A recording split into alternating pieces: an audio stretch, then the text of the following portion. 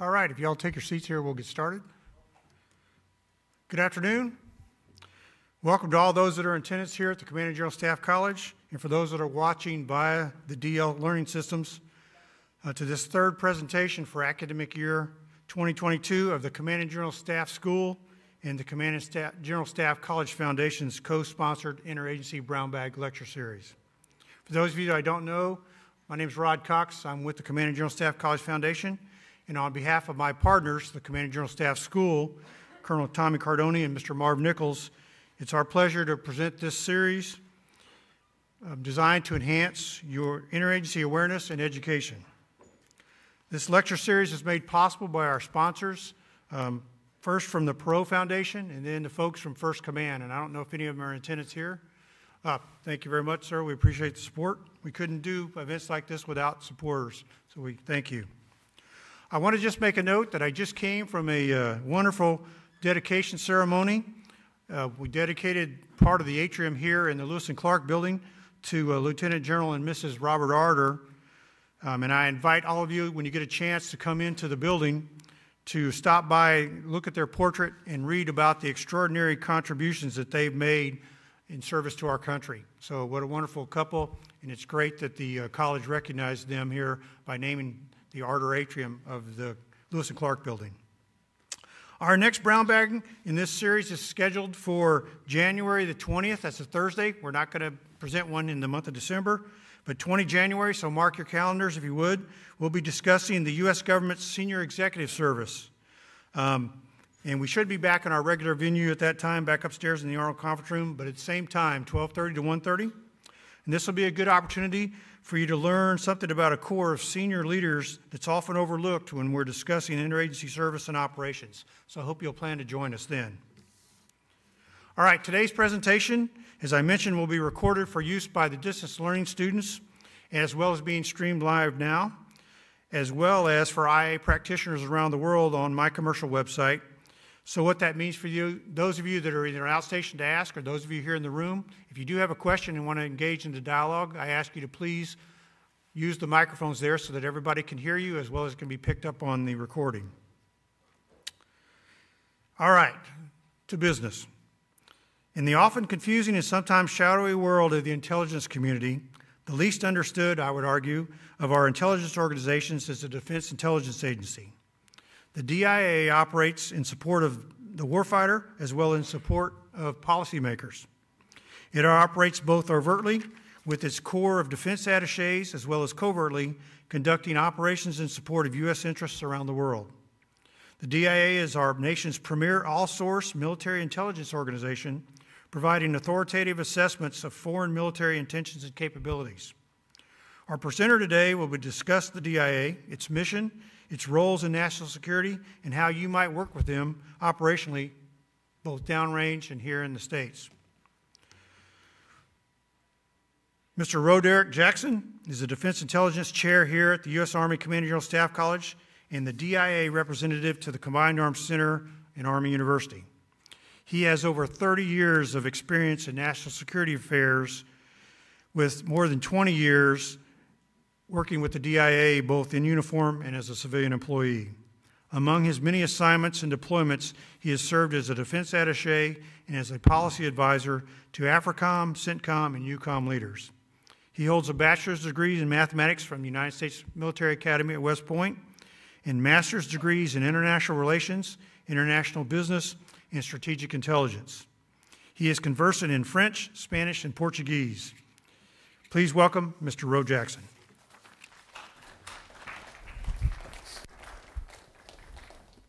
All right, thank you very much for that uh, introduction, and thank you for being here. This is, uh, is uh, actually normally a great time to um, take a break from lunch and learn something important, hopefully.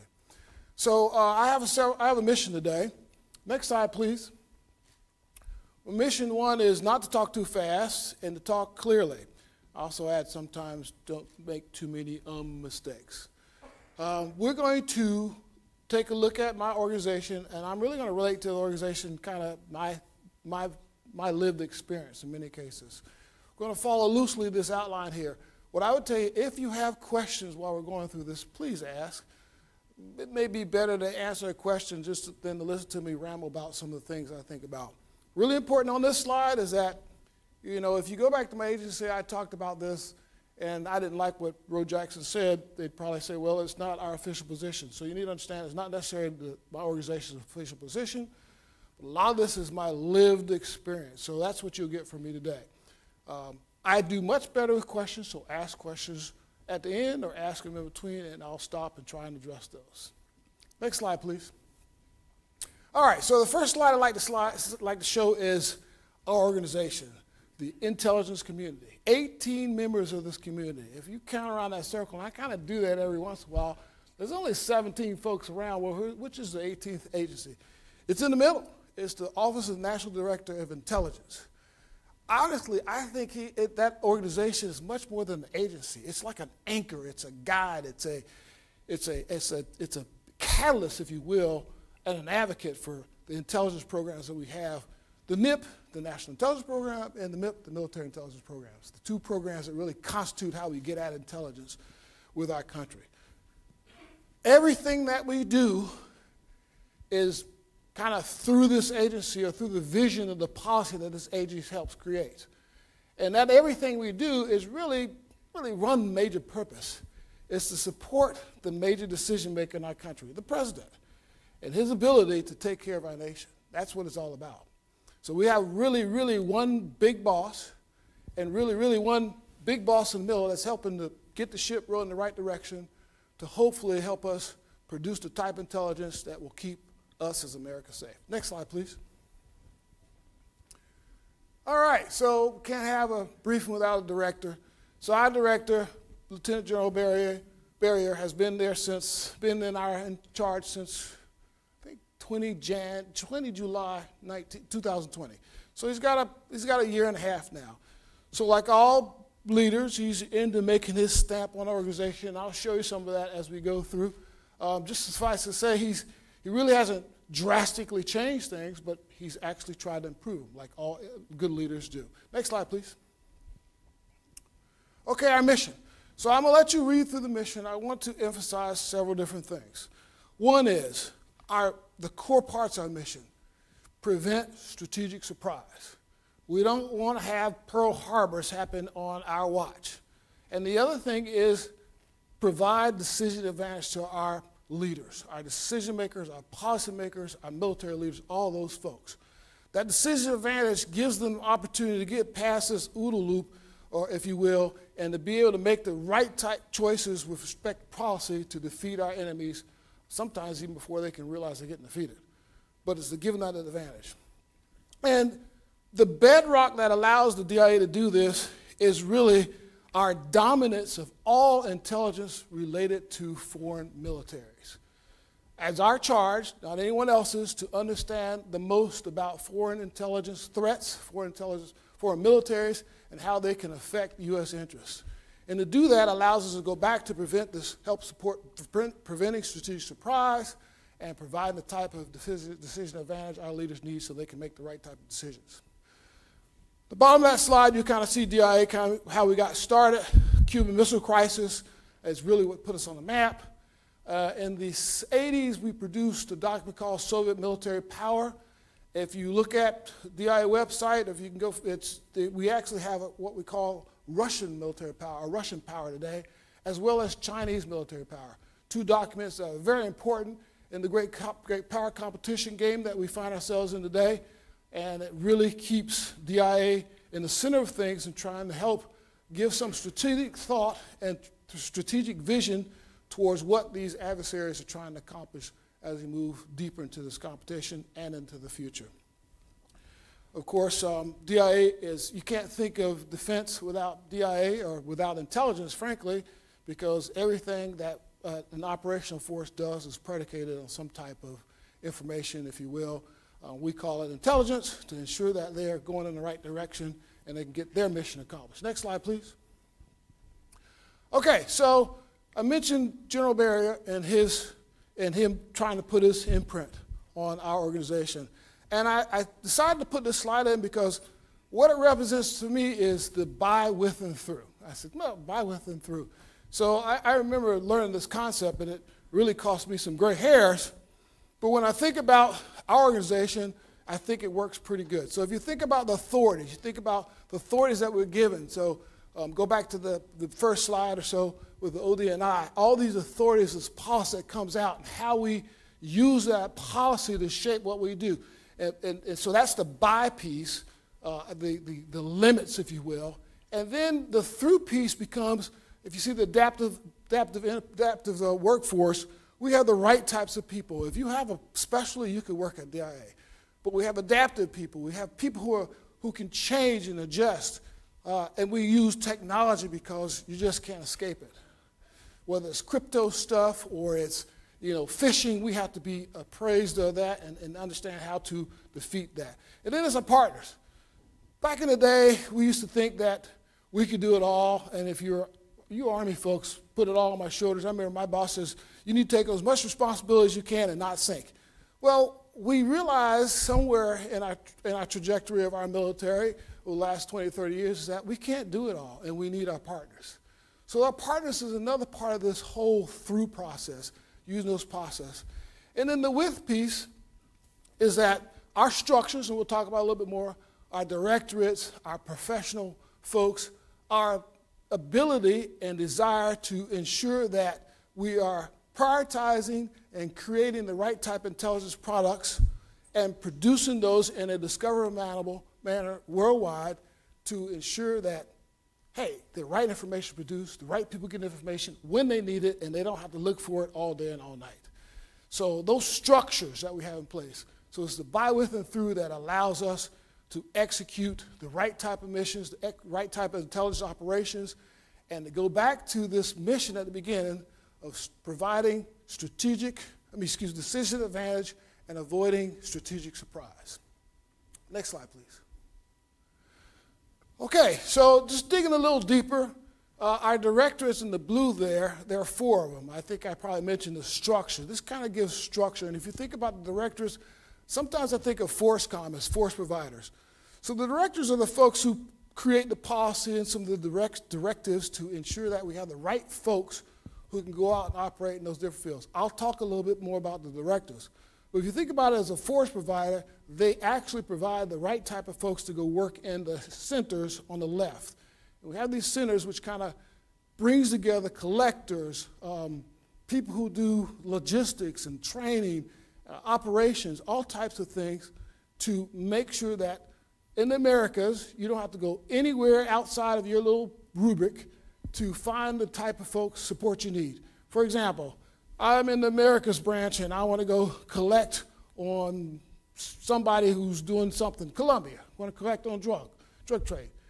And so I don't have to go and find the collectors in the collector shop that are congregated on the other side of DIA headquarters. I have them right at my, my organization and I can leverage those to get the right requirements down downrange so I can get the right information so I can produce finished intelligence that, again, impacts this whole mission. Next slide. Okay, so this point, I just want to show you some of the things that keeps the boss and all of us busy. There is nothing on this slide that's new to you all. So I've had the opportunity to brief the boss, uh, previous directors, before they go to Congress, and these are the things they're interested in. You have to, we have to make sure that they understand uh, what the agency is doing with respect to these issues so they can go and talk to Congress and fight for all the type things that directors go and fight for Con uh, Congress with, whether it's funding, it's authorities, all types of things.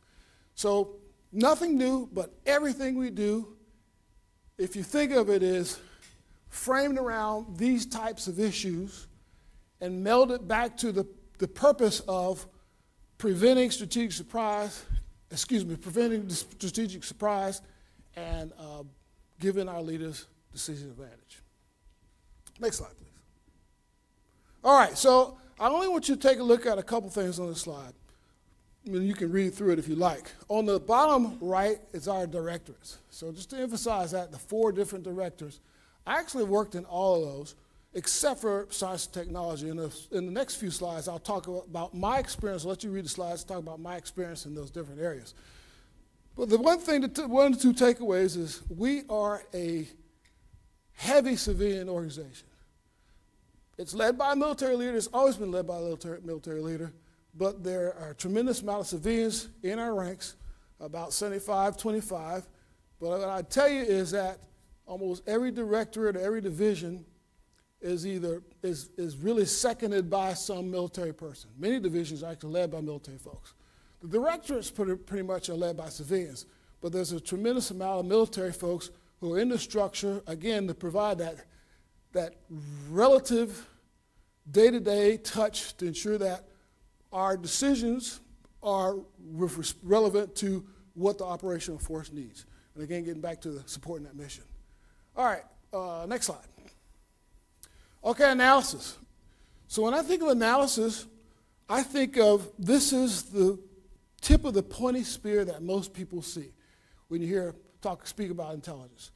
So you don't think about the collector, well, sometimes the collector's operators, but you think about this analyst speaking truth to power, this famous saying, speak truth to power. You think about the analyst going before Congress or, or going to speak to policymakers, whether I've talked to diplomats, I've talked to, to uh, Congress folks, I've talked to uh, other policy, intelligence policymakers to try and explain some, some problem or actually help shape policy. We don't make policy, we don't create policy, we shape policy. But that's the, that is the focal point or the end point, if you will, of all of the intelligence collection, processing, a cycle, and I'll show that to you a little later. And I've done that. I spent about four years doing that in D.C., and it was one of the greatest opportunities I've had my whole life. And what I did get to work on that's pretty textbook is what we call a National Intelligence Estimate, or NIE. And these, these products are the products that go and they create and help shape the midterm and try to shape the mid, support the uh, long-term policy of the United States with respect to a specific problem. I worked on one for, for Angola and also one in South Africa. And another thing that was really kind of neat as an analyst, I got to represent our country in France several times and in Portugal. And of course, I got to speak French and Portuguese, so that's pretty cool. All right, next slide. Okay, operations. So my experience with operations is as a defense attache. I spent uh, some time in Angola, speaking Portuguese, and both of the Congos, the Democratic Republic of Congo and the Republic of Congo, uh, working in these areas, dealing with you know very interesting people in both in all, all the cases. But if you think about the intelligence, the, the Defense Intelligence Agent, this Defense Intelligence Office, or the DATs and the DATs who run those, uh, those folks are out there really collecting this intelligence, or collecting information, and actually transforming it into unfinished intelligence, if you will. It is extremely important because if you think about this NIE process, you think about producing intelligence, and I'll show you some of that later, it starts somewhere. One of the lines of effort for producing intelligence, it, uh, unfinished intelligence especially, starts with the defense attache and it's a very important element. Someone has to go out and collect information, someone has to put that information in a system, and one way it, get, it happens is through the defense attache. It's not just the defense attache in operations, a huge part of it is counterintelligence. And the counterintelligence is focused, uh, focused towards trying to keep troops safe on the ground. And then there's the, the human portion, which is, is one of the jobs that are probably the most demanding and hard to get, I believe, is being a, a, a debriefer, which really going out and looking at folks uh, who have um, either defected or were caught behind enemy lines or somehow or another and trying to understand what they know, but teasing all those important lessons and, and experiences out of them. Next slide. Mission services. So I have worked in mission services two times. And when I, before I start talking about my experiences, when I think of mission services, I think of logistics. I think about, I, don't, I mean, I really go back to when I was a lieutenant and the, the, you know, the ash and trash, and we call it ash and trash and logistics trains and all these things. But it's not necessarily that relegated to a logistics type position. That's, that's only a small part of it. It's kind of a, a, a, a large collection of professionals that really go about running the agency and keeping it, it operate, keeping it going. And one of those, one of those functions is just, for example, foreign disclosure. So I worked in mission services as a foreign disclosure program manager, and I was tasked with trying to revamp how foreign disclosure is, is taught and how to get that out, produced, and um, down to different COCOMs so that they could teach it. And if you understand anything about foreign disclosure, it's super important. It's the bread and butter of, of, of which, of which we use and, or how we actually share intelligence with our partners, uh, and we, how we collect intelligence, and how we share it also with civilians, what's classified, what's not. And that's super, super important. Um, the other thing I've done in mission services is right now as a liaison to this school and to CAC headquarters. Uh, it's important for DIA to be part of the whole public face, showcases intelligence, and also ensure that its, its leaders and its students have opportunities to socialize with different sister services and civilians. And so as they grow up through the ranks, they really are a well-rounded uh, intelligence officer who can support a variety of missions and responsibilities in the organization. Next slide, please. Okay, science and technology. This is the one directorate that I haven't worked in. And I tell this joke to people, it's not a joke, I just this experience to say, when I went to the National Intelligence University somewhere around 2009, 2010, they were actually really kind of developing or they'd gotten this, this directorate or this, this educational track going. And I said, you know, what is, what is science and technology? I really didn't think about it besides, well, this is pretty cool. But today you just can't get away from science and technology. Again, I mentioned the crypto is crypto, the, the phishing, of whatever people are trying to do to steal something from you. Um, you got to, got to understand some of this technology. So I'll let you, if you're reading, if you read the kind of little blurb on the right about the career field, I talk a little bit about it. But one of the things we have to do is, is use the science, science and technology to protect ourselves protect DIA infrastructure, communications infrastructure. Because in the intel business, if you can't communicate, you can't do anything. You know, it's great to have for foreign disclosure policy, but you have to be able to communicate this and communicate it in a secure manner. So it's important. And if you go work in some of the organizations, you've got to have places. You just can't put uh, our computer systems anywhere in this auditorium and use them. They have secure spaces. So understanding the science and technology and how to defeat that and prevent it from affecting our operations with communications is extremely important. Other part of this is operational. Our mission as, uh, again, as a organization that looks at defense is to dominate how foreign militaries use science and technology to defeat our operations. So the very important an aspect of that is having our, our folks who work in this directorate uh, understand the military, go out and experiment uh, and figure out what they're doing and how to defeat it. And I'd say that the, the third thing, which really is a feed off the others, is that understanding what the enemy can do, the capabilities, if you will, allows our analysts to produce intelligence that supports all the planning process and ensures that we have better success with our mission that I've been quoting a couple of times, and that we support our warfighters who are operating in the field. Next slide. Okay, so this is the part of the brief that I like the most because it, it resonates more with me, and perhaps it'll resonate with you a little bit. So I like to talk about DIA from three different levels. And I, I do that because when I first came back to the Army and started working, people asked me the question, well, what does DIA do for the Army? And I, I, I, scratched my head and I said, well, what do we do for the Army? Well, we do lots of things. Well, what are those things? So for me, it's all at the strategic level. So I had to kind of think about the strategic level and really deconstruct that to try and make something that's relevant for us today when we sit here as Army folks going through this great school. So DIA operates perhaps you can consider three different levels. First is National Capital Region. And I kind of talked about the analyst. The analyst, I believe, is really the is really the kind of the poster child for our agency. So the analyst is out there doing these great things in terms of producing this intelligence, influencing, influencing stakeholders, shaping policy, and trying to ensure that all this results in policy that gives us that decision advantage and prevents strategic surprise. We have folks doing enterprise level type operations. I mentioned foreign disclosure, um, ISR. I tell this joke. I say, when I when I got to AFRICOM in 2015, people talked to me about ISR, and so I said, "Oh yeah, yeah, I remember ISR." So this is I was in an analyst hole before that. ISR, so hmm, Ranger School. We go out, we walk all night, we get lost, we dehydrated, we sit on some objective. We either attack that objective or we write something about it. It's like no, it's ISR. It's overhead. The whole process is although ISR people walk around is important, but no commander does anything without overhead ISR. You just wouldn't think about it, not today.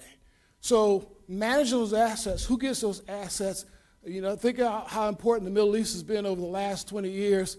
Uh, what about Africa? Do they get any? How do you do this? How do you work with partners? How do you manage this? How do you process the information that comes from these, uh, this, these, these platforms? You may sit somewhere looking at something for four hours and only have like 10, 15 minutes of, of data. Well, can we do it because it's overflow, because you get data from all over the place, or you're overwhelmed? How do you do that? And so our organization, our agency's correction, is actually involved with trying to figure out some of those questions. The acquisition in the future, the different front, you know, platforms, all these different things. One of the things I enjoyed the most throughout my career is working in J2. So a long time ago, I was a logistician. I'm like, I want to go work on the joint staff and, and go through this whole process of just on time fixing problems. Well, one day my boss said, You're going to go work for the J2 Watch. The most fascinating thing I've ever done.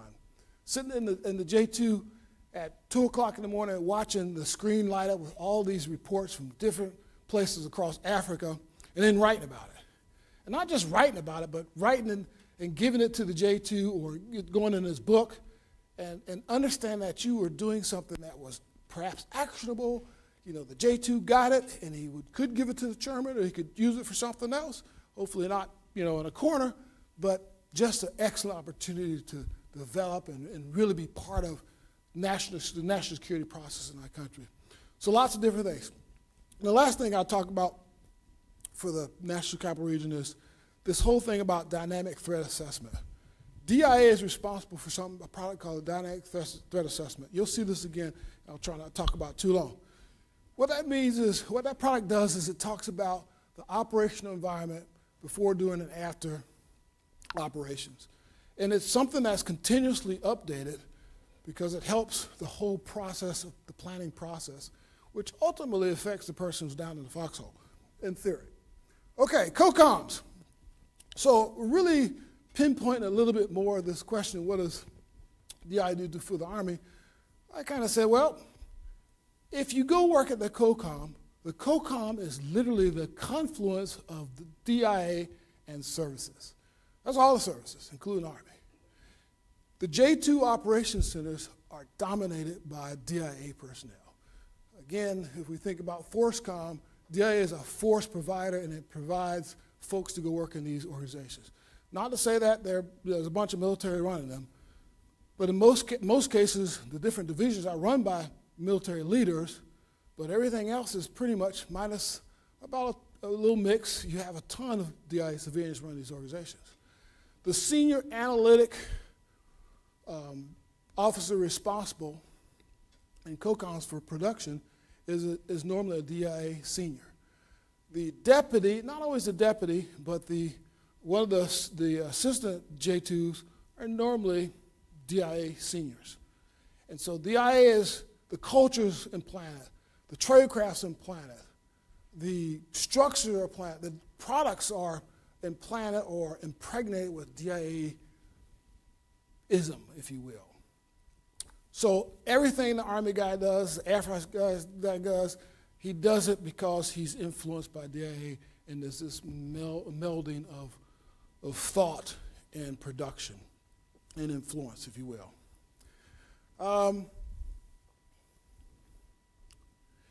the other thing I just want to say about the, the, the COCOM J2 is, is that um, it really is a perfect match for the COCOM. If you got a J3, you got a J23, all these things are designed to be seamless. And all these things, for the most part, as I said, are actually executed, the responsibility is executed by DIA personnel. So DIA is all over the COCOMs.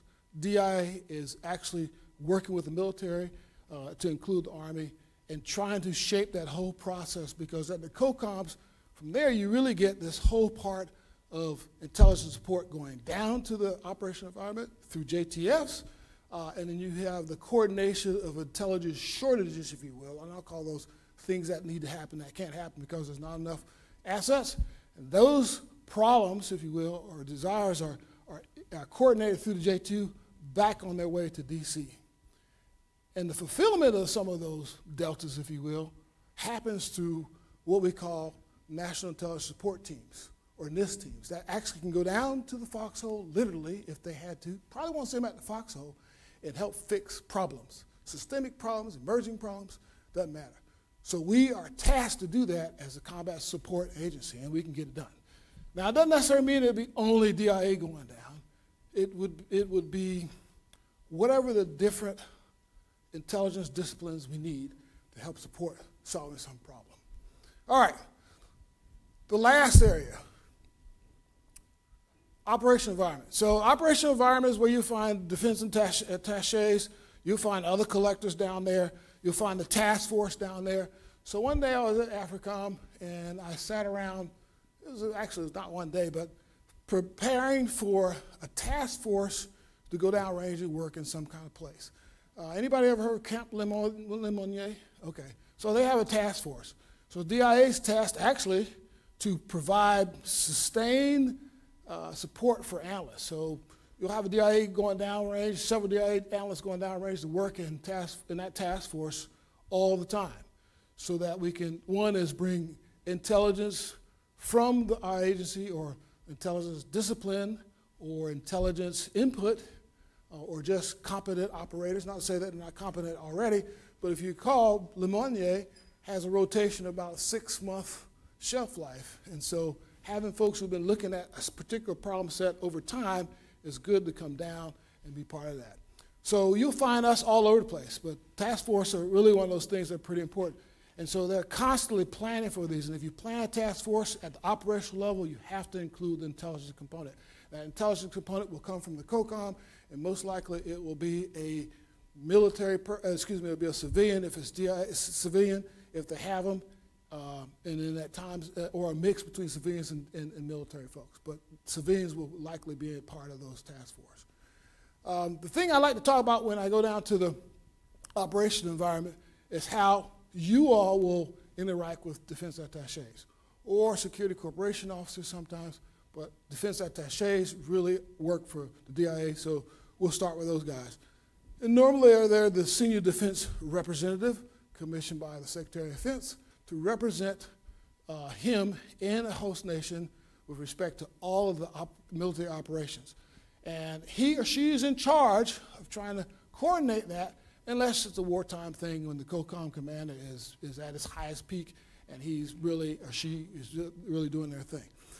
So you'd see them if you're going to do some type of exercise, if you're doing some type of planning, delivering some type of support in terms of really it's functional support or delivering uh, weapons or arms or anything like that, you would have to go through the defense attache. Defense attache is a, a natural conduit for information, information that he collects normally goes into the system and it's discoverable. And we'll talk a little bit about that, I think, if we have time. Next slide. Okay, so quickly I'm going to try and go through this. So I talked about big picture DIA and how we do things. Well, it all boils down to this kind of cycle. I like to tell people it's like a thesis. You may not agree, and that's okay. But you have folks telling us about what they want to do, plan, I mean, the policy, directives, and we have to create questions out of that. We take those questions and we go through this process, and you have the collection process.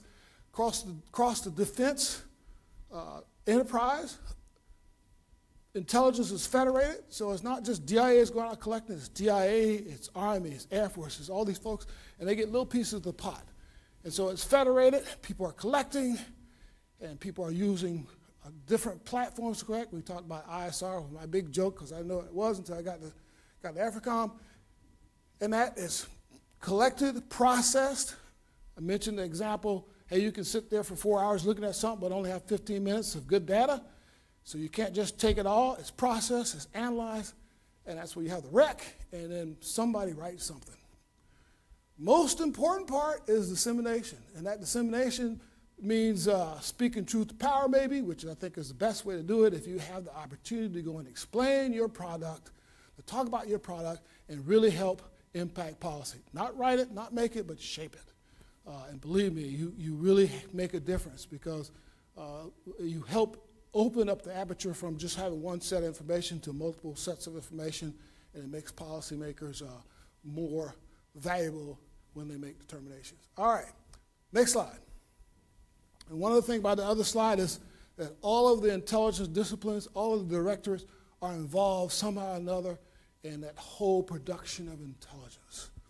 Okay, so we talked about the NIAs earlier, and so I wanted to kind of show you this. This brings us kind of back to the original slide with the 18 members, and in the middle was the ODNI.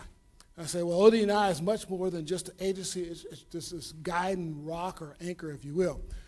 So when you write one of these products called NIE, the National Intelligence Estimate, it's a national thing. And so the person who really is in charge of this and guiding this to, to a large extent is the ODNI. So each agency, if you look at this kind of square here, I guess it's a square, you have each agency is going through their little process, figuring out what to collect, when to collect, where to collect, producing finished intelligence to like address questions or comments or the inputs from the left uh, that really affect national level security, if you national security, but at the national level, questions that, uh, that are really out there bothering folks, which shoot towards the mid to long term. And then at the other side, you get the inputs. But going through this is like a gearing process, and ODNI is, in, responsible for harmonizing, uh, uh, reducing conflict, making sure everyone has oppor opportunities to voice dissent, to voice dissent, and ensuring that the product that's produced that's acceptable and will have a lasting impact on national security planning. So that's kind of how we work together when we bring it all together. So we have a, a dual role combat support agency, which really squarely puts us almost down to the foxhole or in the foxhole, and we have a national role which supports national security planning and intelligent production to ensure that we're all safe every day. And that's what we get when we go back to the big square. All right, next slide, please. All right, I have three slides. Quickly. So if you think about down in the foxhole, think about, and think about the national intelligence, go to the right side here. You see these folks on the right here? They're all constantly working to produce this national intelligence support plan, to produce these plans that are constantly under revision. Those plans are produced and they support all the planning, the operational planning. So at some point, whether you are at the COCOM level or the operational environment, a task force, or literally down at Foxhole, the things that the national intelligence enterprise, the international intel, intelligence community, and definitely to a large extent DIA, are helping influence those plans. So you're not going to shoot anybody or close with destroy anybody without a tremendous amount of intelligence helping shape those operations. So that's, that's kind of what we do for you. We, do it for you whether it's at the national level and the chairman of the Joint Chiefs Staff, staff is, produce, is preaching some, some policy direction. We do it at the COCOM level because the COCOM man is not going to do anything without intelligence support. And we do it at the operational, excuse me, in the operational environment when you're down the task force or you're down as a maneuver element, even down to your foxhole, and you orient your weapon to the left instead of the right because someone's told you that's where the enemy's coming from. And that, that influence tracks all the way back to the top. Next slide, please. All right, we mentioned the dynamic threat assessment. I don't want to really mention again too much, besides it's before, during, and after, and it's all feeding this process of planning and helping the operational commanders get the right plans down to you so, again, you can turn left to right uh, eventually. Now, it's all filtered, so you may not get this big piece that says, well, there's 100 pages, so this is what the threat looks like, but you get the piece that you need so that you can execute your operation. Next slide. All right, last slide. Okay. So if you think about, you can read through some of this. You'll see the levels on the, on the left, and then some of the things I've done. This is a slide I put together a long time ago. But think about the defense intelligence, the defense attache, as one line of collection effort. So if you go back to the, the big square or even DIA, the, the cycle, there's there's planning, there's guidance, there's documents, a documentation says this is what you should be collecting. There's dynamic, you know, requests for information. Then you, as a collector, are out there collecting. You collect this piece of information. It is unfinished intelligence, and you place it in a system that's discoverable. It's discoverable by your ambassador if he wants to see it or she wants to see it. It's discovered at the COCOM level where analysts use this information to write reports. It's discovered at the national level where analysts are there putting together these products, working on NIEs, and speaking truth to power. All starting, germinating from the, the folk, the guy who's down on the ground, and the folks who are down on the ground as defense attaches, or the collectors, putting that information in. So you got the defense attache, you have ISR, you have Air Force, Navy, you have you have um, after action reports, all these things supporting this process to bring this information back to the top to influence planning, those national intelligence support plans, influence operational planning, and bring it back down to the foxhole, helping ensure that that soldier, young soldier that you are entrusted to take care of, is oriented in the right position. I love it. Let's see what we got next. I think that's it. Okay, questions?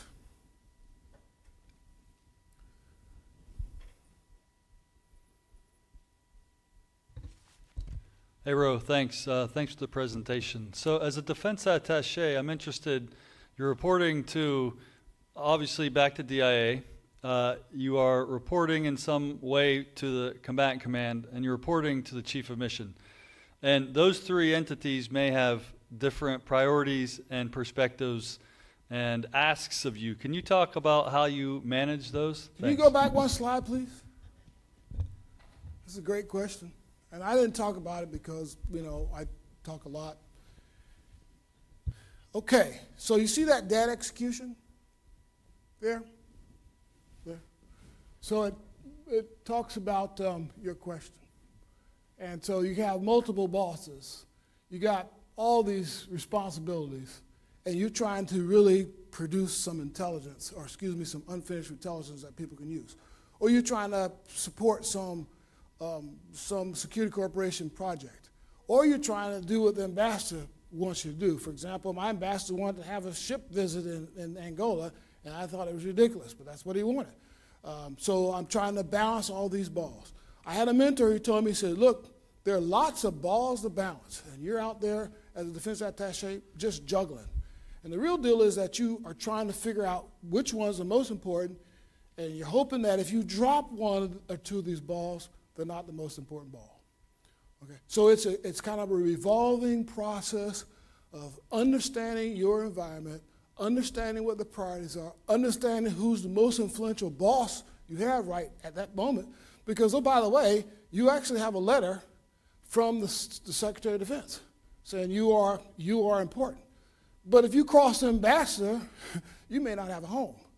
So it, it really takes a, diplo, a, a diplomatic approach to trying to optimize solutions for everybody involved. And it's a constant, it's a constant thing, you know. So, I mean, it's, it's just a constant juggle. Please. So the, the dots I was trying to connect, Tom Gray, SMDC, space, space question. Go space. So I, I, the dots I was connecting was between strategic surprise, making sure to get that to decision makers, which includes the warfighters. So the, my question is, is, as I saw on the COCOM list, I didn't see a DIA rep there in the in SpaceCom.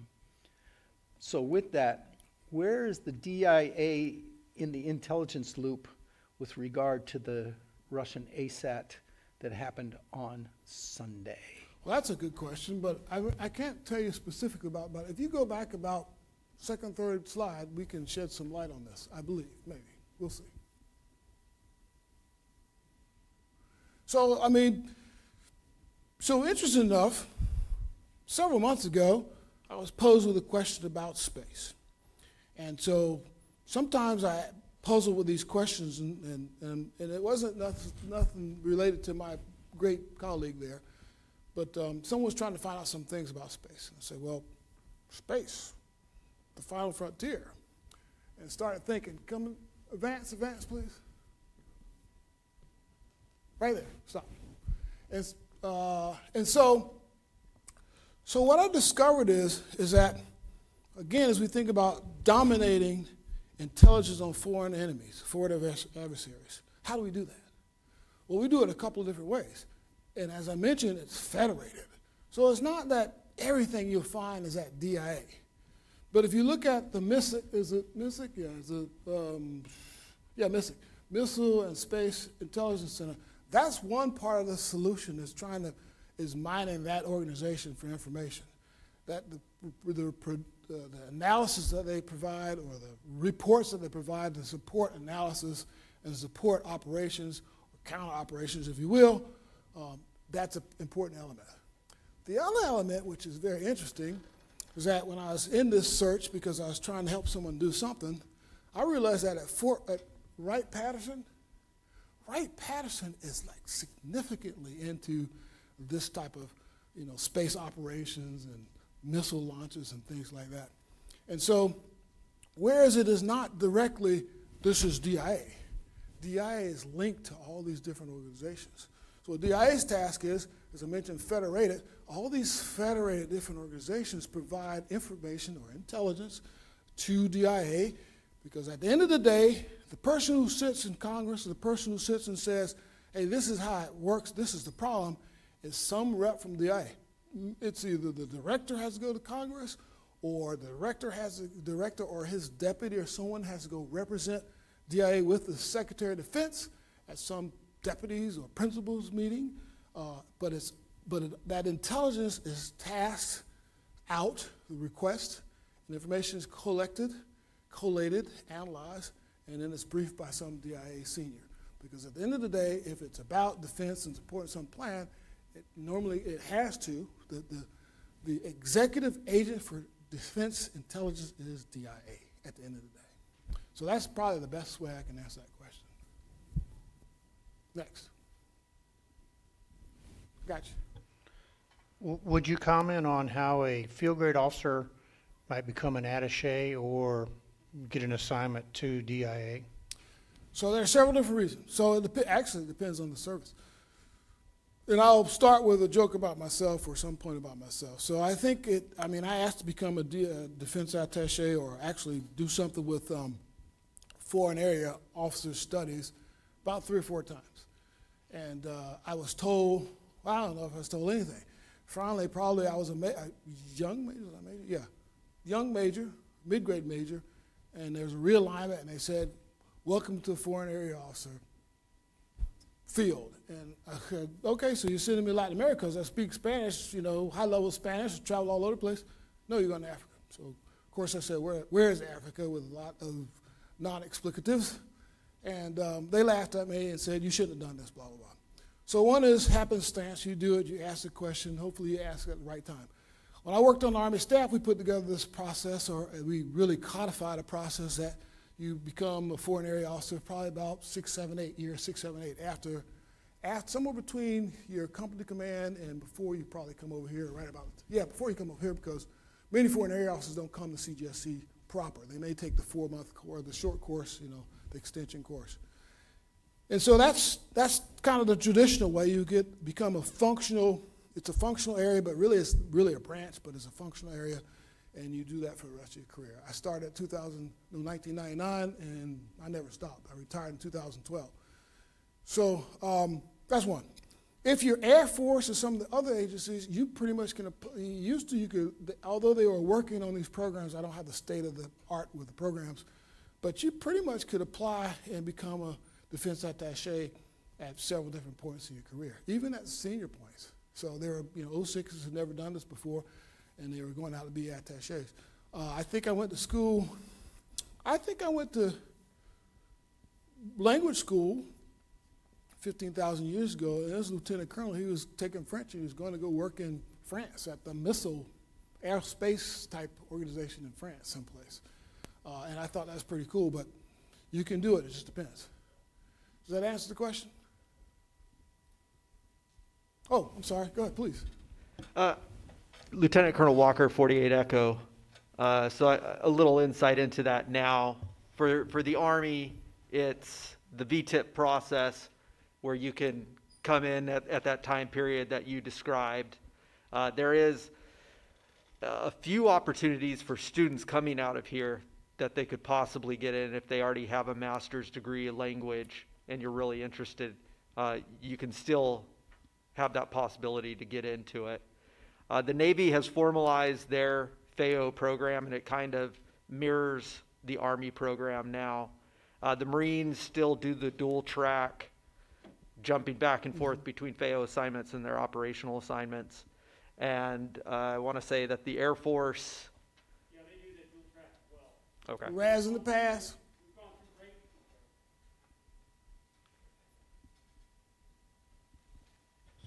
Yeah, the Air Force does a dual track as well, and they've been in a major like revamp to make the uh, program better over the last uh, 15 years. I was in the initial cadre to be a FAO in the Air Force, and it's getting better. Put it that way. you guys still do the RAS in the past, right? No, we do not. do the Uh, so. RAS became FAO, so we changed the name, Okay. and then th- we still have PAS, but is not considered Right. a FAO uh, specific career field. Uh, and just recently, uh, we just professionalized by taking all the FAOs and put them into a core flag, uh, which doesn't mean anything to most people, but it basically now makes us actually competitive in the same way the Army does, as, as that's our primary sort of functional area.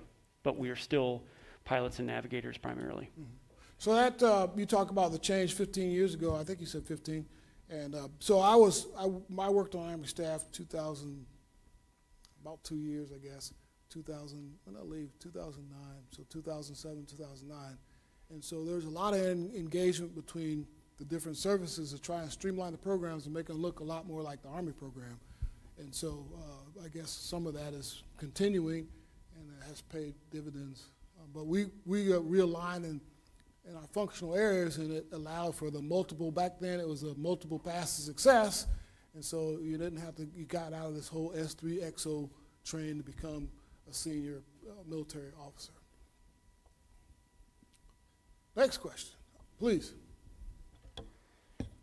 As Lieutenant Colonel Harvey, I'm a, I'm a foreign area officer as well, and I feel somewhat obligated to add on to this because my previous job was at HRC as a FAO career manager.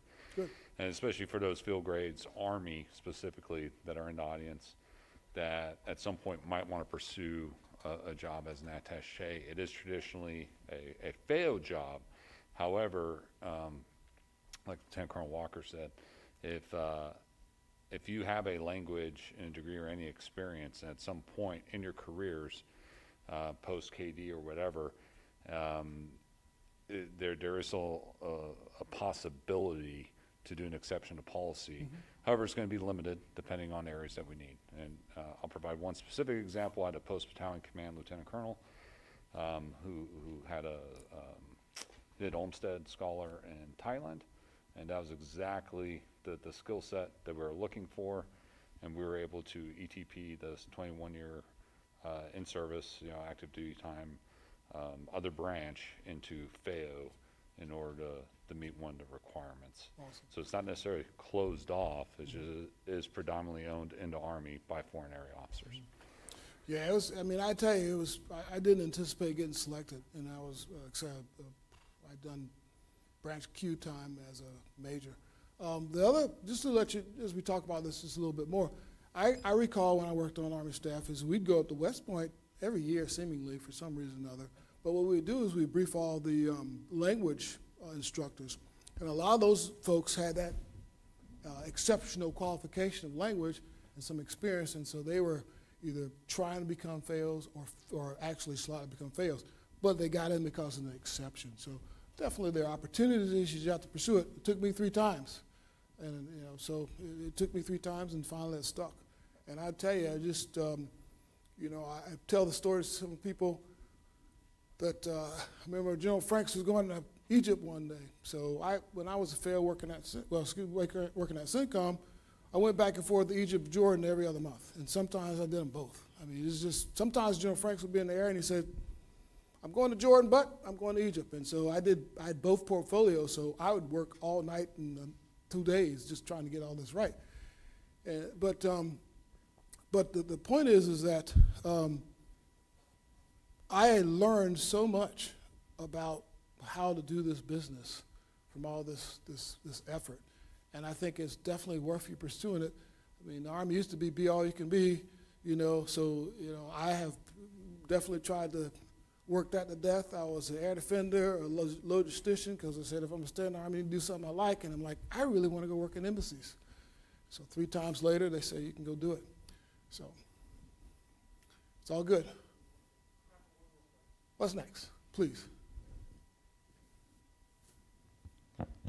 Sir, uh, Ten Bravo Major Chu from Taiwan. So I have a question. You mentioned that uh, you, DIA uh, cooperate with, with different partner countries. And uh, my question is, if there's a, and uh, some intelligence from uh, foreign countries, then who has the authority to uh, decide that in, uh, the intelligence to share with the other U.S. intelligence agencies? So, um, so we talked about foreign disclosure. Foreign disclosure talk really kind of outlines who can share what, when they can share what, and how. And so, if you go down to COCOM, COCOMs are intimately involved with reshaping, addressing, sharing requirements. So, if there's not a sharing agreement uh, established with the ho- with a host country, then between DIA and the whole whole enterprise, they work, the enterprise elements work to establish some type of sharing relationship or to determine that there's one required or not required and they don't establish one. And once the relationship is established, then you can do all types of things with respect to sharing. For example, I mentioned I've traveled to France several different times and Portugal involved in exchanges where you can talk to uh, different um, analysts and figure out uh, what's right and what's wrong. You can check intelligence. Uh, you can actually learn some things. So and share some things. So that's kind of how it works. It's really someone has to start an agreement. And so COCOM's responsible for launching those. Um, DIA launches some of their own. Um, ultimately, they have to be approved at higher levels in the national capital region. And if, once they're approved, then you can do lots of different things. And foreign disclosure becomes very important.